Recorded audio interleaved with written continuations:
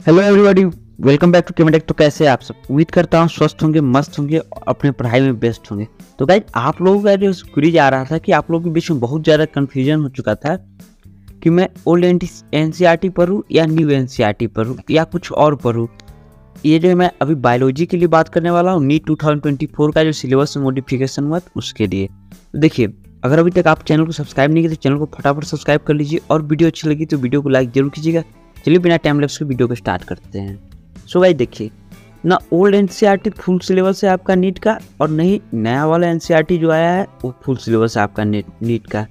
तो देखिए, आपको क्या नहीं पढ़ना है और क्या एक्स्ट्रा पढ़ना है, वो हम इस वीडियो में बात करने जा रहे हैं आपसे। तो अभी जो है सो मैं आपको ओल्ड एन के बारे में बात करेंगे modification as per NEET syllabus तो पहले ओल्ड एन की ये वीडियो लेकर के मैं आ रहा हूँ और जिन लोग बच्चों के पास में न्यू एन है तो उनके लिए मैं नेक्स्ट वीडियो लेकर के आऊँगा और नेक्स्ट वीडियो में क्या डिलेटेड पोर्सन रहेगा, क्या एडेड है, क्या मतलब क्या छोड़ना है और क्या एक्स्ट्रा पढ़ना है, वो मैं नेक्स्ट वीडियो में लेकर के आऊँगा न्यू एन वाले में। अभी मैं ओल्ड एन की बात करता हूँ क्योंकि मैक्सिमम स्टूडेंट के पास जो है सो ओल्ड एन है। तो मोडिफिकेशन एज पर नीट सिलेबस की बात करें तो सबसे पहले हम बात करते हैं लिविंग वर्ल्ड चैप्टर की। तो इस चैप्टर से जो है सो आपका टेक्सोनोमिकल एड्स जो है सो डिलीट हो गया है और इसमें कुछ भी ऐड नहीं हुआ है। बायोलॉजिकल क्लासिफिकेशन की बात करें तो जो पहले का सिलेबस था वही सेम एज है अभी भी। प्लांट किंगडम की बात करें तो प्लांट किंगडम में देखिए angiosperm and its classes dicots and monocot इसको डिलीट यहाँ से कर दिया गया है, लेकिन आप यहाँ अगर पढ़ लेते हैं तो आपको वहाँ पे भी पढ़ना ही पड़ेगा sexual reproduction in flowering plant में जो है जा करके। तो यहाँ पर पढ़ना पड़ेगा यहाँ पर ही या वहाँ पर पढ़ी बात बराबर ही पड़ेगा। एनिमल किंगडम की बात करें तो देखिए एनिमल किंगडम में भी जो है सो पहले वाला सेम सिलेबस रह चुका है। अगला जो है सो मॉर्फोलॉजी ऑफ़ फ्लावरिंग प्लांट है। तो मॉर्फोलॉजी ऑफ़ फ्लावरिंग प्लांट में जो डिलेट फैमिली की बात करें तो सोलेनेसी और लिलियसी जो कि पहले एन में थी, उसको डिलीट कर दिया गया है। लेकिन इसमें जो है सो फैमिली ऐड भी हुई, जैसे मालवेसी क्रूसीफेरी लेगुमिनेसी कंपोजिटी और ग्रामीण फैमिली जो है सो ऐड किया गया है। तो आपको फुली डिटेल में जो है इसको पढ़ना है, क्योंकि जो नया सिलेबस आया है तो जो जो नया चीज़ ऐड हुआ है, इससे क्वेश्चन ज़रूर पूछे जाएँगे तो आपको न्यूज़ चीज़ ज़रूर पढ़ना है। और जो है मॉर्फोलॉजी का जो प्रैक्टिकल सिलेबस है, उसको भी ऐड किया गया है नीट के सिलेबस में तो इसको भी आपको देख करके जाना है। आगे जो है सो एनाटोमी ऑफ़ फ्लावरिंग प्लांट की बात करें तो इसमें देखिए सेकेंडरी ग्रोथ को डिलीट तो कर दिया गया है, लेकिन सेकेंडरी ग्रोथ पहले भी सिलेबस में नहीं था, लेकिन क्वेश्चन हर बार पूछे जाते थे। तो सेकेंडरी ग्रोथ को आप ज़रूर पढ़ करके जाइएगा, इसको छोड़िएगा नहीं। अगला जो चैप्टर है वो आपको स्ट्रक्चरल ऑर्गेनाइजेशन इन एनिमल तो देखिए, इसमें अर्थवर्म तो डिलीट कर दिया गया है, लेकिन आपको इंसेक्ट और फ्रॉग जो है सो ऐड किया गया है तो आप इंसेक्ट और फ्रॉग जो है सो ज़रूर पढ़ करके जाइएगा। कॉकरोच भी डिलेटेड पोर्शन में ही है। कॉकरोच पहले भी जो है सो डिलीटेड ही माना जाता था, लेकिन कॉकरोच पढ़ करके आप जा सकते हैं और इंसेक्ट एंड फ्रॉप तो ज़रूर निश्चित रूप से पढ़ करके जाइए। अगला जो है सो सेल है तो देखिए सेल में कोई भी चेंजेस नहीं किया गया सेल यूनिट ऑफ़ लाइफ में सेम है। बायोमोलिक्यूल्स में जो है सो कुछ चेंज किया गया है living state nature of bond formation जो था टॉपिक उसको जो है सो यहाँ से डिलीट कर दिया गया है। सेल साइकिल एंड डिवीज़न की बात करें तो सेल साइकिल एंड डिवीज़न में भी सेम रह गया है। फोटोसिंथेसिस में भी सेम रह गया है। रेस्पिरेशन इन फ्लावरिंग प्लांट में भी सेम रह गया है।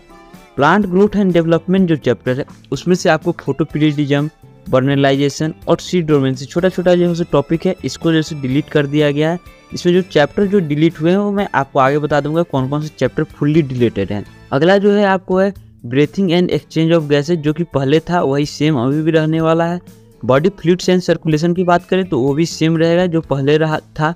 Excretory substances and their invasion वो भी पहले जैसा ही है। लोकोमोशन एंड मूवमेंट भी जो है पहले के जैसा सेम ही रह गया है।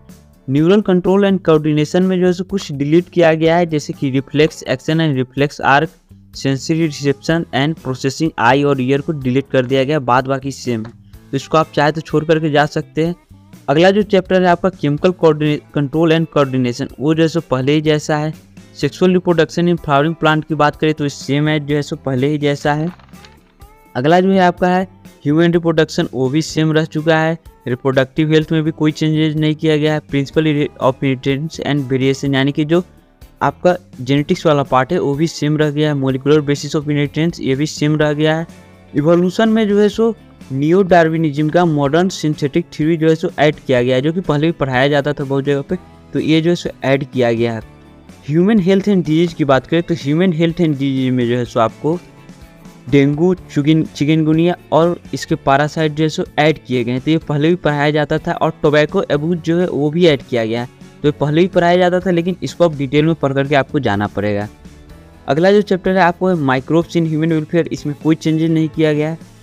बायोटेक्नोलॉजी का जो है सो फ़र्स्ट चैप्टर जो है प्रिंसिपल एंड प्रोसेस उसमें भी कोई चेंजेस नहीं किया गया है। बायोटेक्नोलॉजी एंड इस एप्लीकेशन में जो है सो, देखिए कुछ पार्ट जो आगे आपको स्ट्रेटिक फॉर इन्हांसमेंट वाला जो कि टिश्यू कल्चर था माइक्रो प्रोपोगेशन सोमाक्लोन्स जो कि आपको strategic for enhancement in food production में पढ़ाया जाता था तो वो चैप्टर डिलीट हो गया है तो आपको यहाँ पे पढ़ना पड़ेगा क्योंकि ये पार्ट यहाँ पे ऐड किया गया है। अगला अगला जो चैप्टर है आपका है, देखिए ऑर्गेनिज्म एंड पॉपुलेशन तो इसमें जो है सो आपको चेंज किया गया है ऑर्गेनिज्म एंड इन्वायरमेंट को जो है सो डिलीट किया गया है मेजर एबायोटिक फैक्टर को डिलीट किया गया है response to abiotic factor delete किया गया है एडेप्टेशन डिलीट किया गया है। इकोसिस्टम चैप्टर की बात करें तो इसमें ecological succession nutrient cycling gaseous and sedimentary ecosystem services इसको जो है सो डिलीट किया गया है। लेकिन वही बायोडाइवर्सिटी एंड कंजर्वेशन की बात करें तो इसमें कुछ भी डिलीट नहीं किया गया है। ये तो आपको फुल में इलेवेंथ और ट्वेल्थ का चैप्टर बता दिया आपको कि क्या डिलीट किया गया है, क्या ऐड किया गया है, क्या ये हुआ है। सर अब देखिए ये तो टॉपिक वाइज मैंने बताया था। अब जो आपको मैं बता रहा हूँ chapter deleted from current syllabus जो कि आपको पुरानी एन से फुल्ली डिलीट हो चुका है। उसमें आपका चैप्टर है transport in plants mineral nutrition digestion and absorption और reproduction in organism strategies for enhancement in food production और इन्वायरमेंटल इशू ये जो है, सो आपको चैप्टर फुल्ली डिटेल डिटेल में मतलब डिलीट कर दिया गया, फुली चैप्टर डिलीट किया गया, ये फुल चैप्टर डिलीटेड पोर्शन में जो आपको आ गया। नी 2024 का करंट सिलेबस क्या है, वो मैंने आपको बताया कि पुरानी एनसीईआरटी से अगर आप पढ़ रहे हैं तो आपको क्या एक्स्ट्रा पढ़ना है और क्या छोड़ करके जाना है, क्या नहीं पढ़ना है, ये मैंने आपको इस वीडियो में बता दिए। तो आप लोग बताइए कि वीडियो कैसी लगी वीडियो अच्छी लगी तो वीडियो को लाइक ज़रूर कीजिएगा और चैनल को अभी तक सब्सक्राइब नहीं तो चैनल को फटाफट सब्सक्राइब कर दीजिए। देखिए, मैं पीडीएफ जो है सो आपको अपने टेलीग्राम चैनल केमेडेक्स पे प्रोवाइड कर दूँगा तो आप टेलीग्राम चैनल मेरा केमेडेक्स जा करके सब्सक्राइब कर सकते हैं। वहाँ पर आपको ये पीडीएफ मिल जाएगा। तो आप लोग बताइए, वीडियो कैसी लगी? वीडियो अच्छी लगी तो वीडियो को ज़रूर लाइक कीजिए। चलिए मिलते हैं next video next topic next N की जो है, यानी न्यू एन की बातों के साथ। Bye bye thank you